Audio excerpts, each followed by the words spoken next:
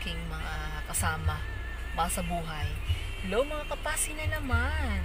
Nandito ako sa Niyo Calapan, Severa Subdivision. At tumigil kami sandali dito sa may bungad ng uh, Severa, Niyo Calapan Subdivision.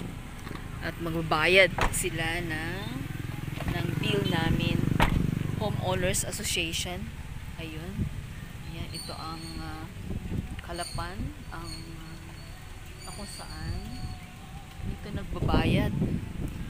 Nagbabayad ng bill ng Homeowners Association.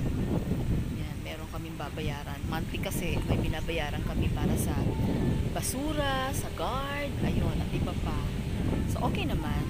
Kasi safe security safe talaga dito sa naisip namin noon before na papasok si Bojo ay monthly merong bayad sa upahan. So sa halip na upa monthly para na rin kami kumuha ng upahan. O home to own house rent to own na kami ngayon okay tingnan natin kung anong uh, gagawin pa nila ang labas ng palabas pababa ng Rio Calapan yun yung Lucky Milky Bar. Ayun, Lucky Milky Bar. Yan, yung private property na pala yung nandun. At gagawing parang, uh, ano, parang uh, resort. O nga naman, private na pala yun. Ayan. Wala ang sa Ayun, nasa kung saan sila nagbayad. Kanila ng aming uh, monthly, monthly dues. Ayan, monthly dues. And then, uh, yun ang uh, gate sa Zevera. Kung saan meron ng guard. So, parang mataas talaga itong uh, Zevera dito Calapan. Na mataas, kaya't uh, iwas baha o malayo sa baha. Ang ganda ng lugar na ito. Napakaganda. So, kung sino man ang may nais, may nais kumuha ng uh, door or ng uh, lugar ay uh, pwedeng pwede pa. Ang dami pang uh, pwedeng uh, kunin at uh, may monthly check na magkakaroon afford na afford naman. Depende sa years na kukunin natin. Hintayin ko sila. Tingnan natin sila. Ang Calapan City. Calapan City. Ayun. Dito naman na mataas, diba? Yun ang pababa na yan. Saan? Kasi itong lugar na ito. Ganda ng tanawin. Ayan ang aming Tahintay lang. Wait, wait lang. Wait, wait lang muna ako. Wait lang ako sa kanila. Tagal naman. Ang ganda naman. Ganda. Ang ganda ng mga Hawaiian eh. Chinese bamboo. Chinese bamboo siya. Pwede mo retrato doon sa gitna. Ang ganda naman. Ito yung lugar kung saan meron kang pinaan.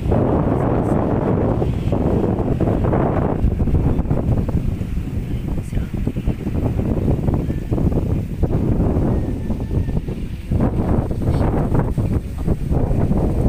Ayun ang aking pagkakas.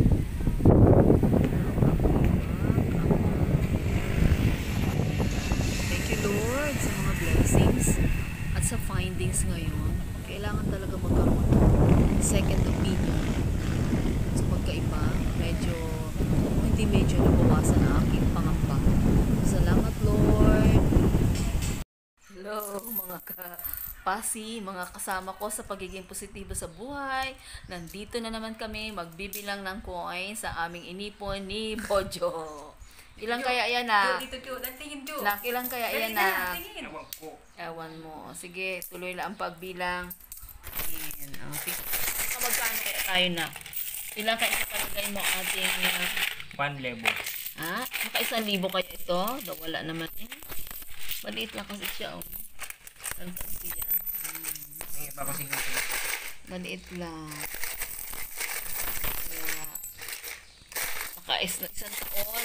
Naka 3.8 kami. Ah, Malaki namang lalagyan yun. Malaking piggy bank. Ay ngayon kaya, ah, naka isang libo kaya ito? Daw wala. Tingnan natin. O sige nak, akin na yan. Oh, ito ang alkansya. O maliit lang siya. Bilangin na. O bilangin na nak. Hiwa-hiwalay mo ha. Wang, ah, mabili. tingin mo na. O, nag... Nagbilang na naman kami ng ano, ano, pera. O, hamak mo yan. Ah, limang piso. Dito lang, um. Limang piso muna. Ilan na to? Ang dami rin pala. O, tingnan natin. Ah, may kasabihan, kapag may sinuksok, may madudukot. Lalo ngayon sa panahon ng pandemya, wala kaming coins, walang pera. Nagahingi ng 50 pesos si Bojo pang load. Mm, sige, tingnan natin. Sabi ko, wag na maglaro ng ML, mag-call na lang ng mga babae ng sa ano, kesa. Kasi pag naglalaro ng ML, gapaugot na imaw. Ang dami pating bad words na matututunan. Mm, Sige na, continue counting. Ah, by group, 5 first, 5 pesos, 10 pesos, and then 1 peso. Tingnan natin. Oh, sa Ate Siring na lang naka, ano, ayaw ho niya. Ito ang kanyang pag, ah, noong isang taon pinatas-patas namin ang 5 piso. Sa kanya ngayon ay hilera. By 5. Tingnan, eh, magkano na kaya yan? Ang dami rin. Ibuo mo doon sa ano kay Lala. Bakit? Ipabuo yung ibang pera na yan. Dami kasi. Yung isa na naman ang dapat ano. Isa o yung kulay blue. Nabilang ako ng pera, naipon ni Ting. Sa kanyang alkansya. Ang Madami gid. guys? Highs. Highs. Highs. Maganda magdila ng pera. 8, Ayan. 10.